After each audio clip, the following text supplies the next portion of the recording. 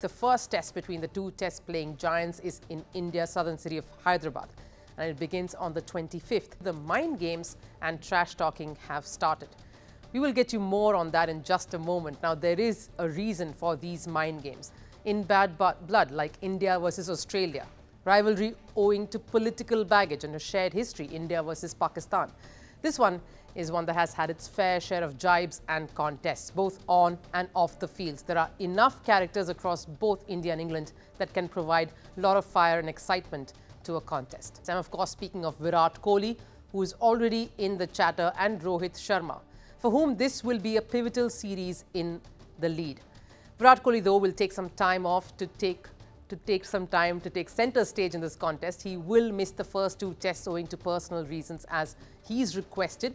But when he gets back, he will make sure his presence is felt.